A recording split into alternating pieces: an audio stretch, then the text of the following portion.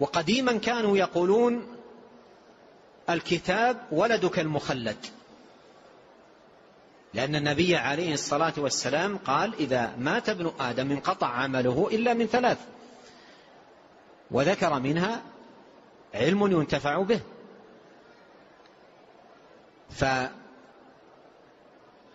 فقالوا الكتاب ولدك المخلد. وفي زماننا هذا تيسرت وسائل حفظ الصوت. وسائل حفظ الصوت فأصبح العالم يموت ويبقى صوته. الإمام ابن باز رحمة الله عليه والإمام ابن عثيمين والإمام الألباني وغيرهم من أهل العلم أصواتهم موجودة. فيها علومهم وبيانهم ونصحهم وتوجيههم ولا يزال طلبة العلم يستمعون إلى علومهم بأصواتهم ويستفيدون منها. فهذا النفع بإيصال العلم إلى الناس سواء ببيان العالم أو بإيصال علم العالم إلى الآخرين. قد لا يكون الإنسان عالما لكن يوصل علم العالم إلى الآخرين.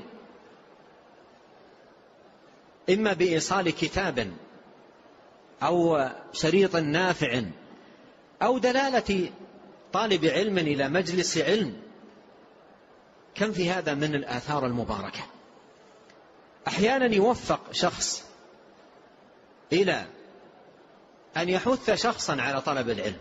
يرى صغيرا فيحثه على العلم ويرغبه في العلم فينشرح صدره ويقبل على العلم فيكتب لهذا الذي دله على هذا الخير أجره.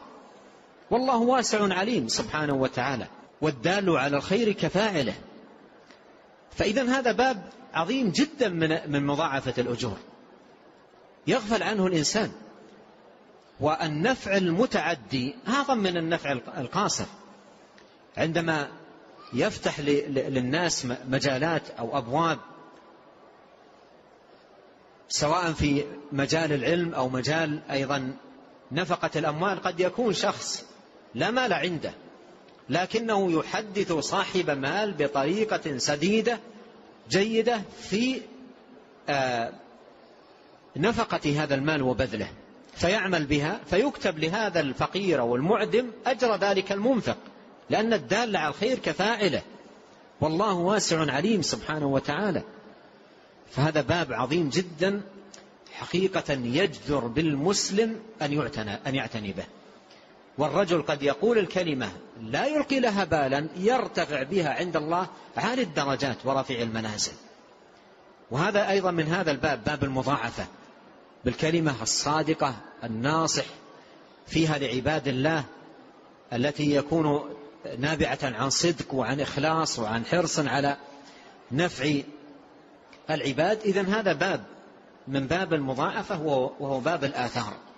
ويسميه بعض العلماء عمر الإنسان الثاني. الإنسان له عمران في أعماله وقت حياته الأعمال التي يقدمها وبعد مماته آثار أعماله. آثار أعماله. والموفق من عباد الله سبحانه وتعالى من تكون همته في عمله ليست قاصرة على أجر يحصله على عمله في وقته بل تطمح نفسه إلى أعمال وأجور يحصلها بعد وفاته. وهذا هو التخطيط النافع. المفيد غاية الفائدة للعبد. أن يخطط لشيء يحصل أجوره وثوابه إلى ما حد إلى ما لا حد له ولا عد. ومن عجائب الأمر أن من الناس من يمشي على قدميه في الأرض صحيحا معافى ويمر عليه الأيام بل والشهور والسنوات وربما لا يحصل أجرا بل يكتسب إثما ووزرا. وآخرون تحت التراب. توفاهم الله سبحانه وتعالى من سنوات طويلة ومن أعمار مديدة وهم كل يوم يحصلون أجورا. كل يوم يحصلون أجورا وثوابا. وهذا يمشي على قدميه صحيحا معافى ويمر عليه اليوم والاثنين والثلاثة والشهر والشهرين والثلاثة والسنة والسنتين والثلاث ولا يحصل أجرا بل يحصل عياذا بالله وزرا وإثما. وذاك ميت في قبره والأجور عليه تتوالى كل يوم. وهذا وفقه الله سبحانه وتعالى في حياته إلى العناية بهذا الجانب الذي هو باب تضعيف الأجر الذي يتعلق بآثار العمل. آثار العمل. وهذا جانب حقيقة ينبغي على العبد أن يتفقه فيه وأن يحرص أن يجعل له نصيبا. يحرص على أن يجعل له نصيبا لأنه سيأتي عليه يوم وتنتهي مدة في هذه الحياة. فيحرص على أن مدة تنتهي في هذه الحياة ويبقى الأجر. وقد قال عليه الصلاة والسلام إذا مات ابن آدم انقطع عمله إلا من ثلاث صدقة جارية أو علم ينتفع به أو ولد صالح يدعو له.